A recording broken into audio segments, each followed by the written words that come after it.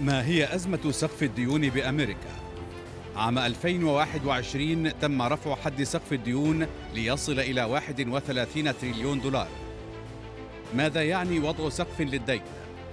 يجب ألا يزيد إجمالي قروض الحكومة الأمريكية عن هذا الحد. سقف الديون هو إجراء وضعه الكونغرس لأول مرة في عام 1917 لتمويل الحرب العالمية الأولى. الدين العام الأمريكي بلغ 31 تريليونا و700 مليار دولار ما يعادل 130% من الناتج المحلي.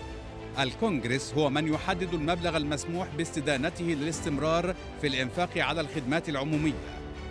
وفي حال فشل الكونغرس في رفع سقف الدين ستضطر الحكومة لتحديد أولويات الإنفاق العام. الحكومة لن تكون قادرة على تمويل العجز في الموازنة. الاقتصاد الأمريكي سيعاني حينها من زيادة كبيرة في الفائدة على السندات. خسائر فادحة ستواجهها أسواق المال الأمريكية والعالمية والاقتصاد الأمريكي سيقع في فخ الركود. تأخر الولايات المتحدة عن تسديد فواترها سيؤثر على توازن الدولار وسيفقد ستة ملايين وظائفهم. وأيضا رفع مستوى البطالة لنحو تسعة في المئة. لمتابعة المزيد من الأخبار والبرامج والقصص الإنسانية والوثائقيات والتقارير الإخبارية.